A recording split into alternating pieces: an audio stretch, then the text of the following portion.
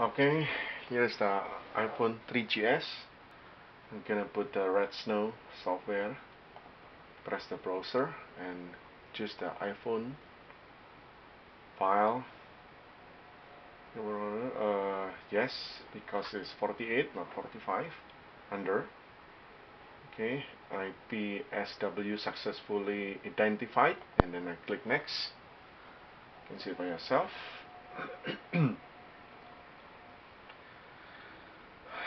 you know?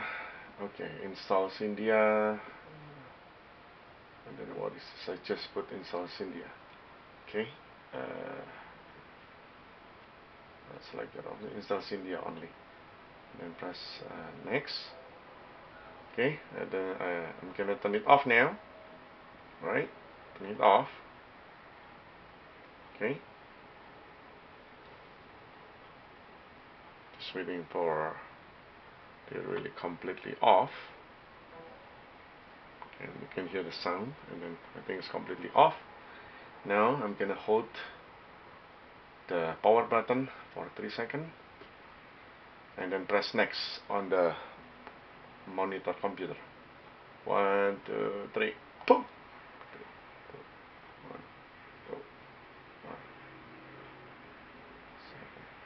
Six five four three, two, one. Oop. Okay. Okay. And releasing the uh, power button. Okay. See, you can see the blink on the iPhone, and oh, okay. Let's see.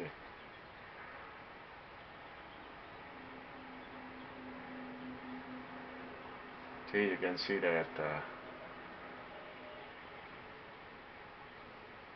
the screen on the computer just stuck like this. And the iPhone you know it didn't work.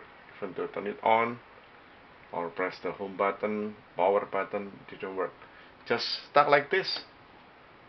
Okay? And then I got to restore again the iPhone.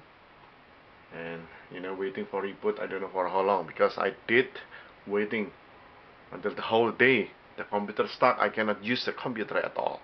Alright hopefully you understand. Please uh, I asking to the customer service already to your website even the online uh, chatting but no response at all until now. Please to be understand about the situation. Thank you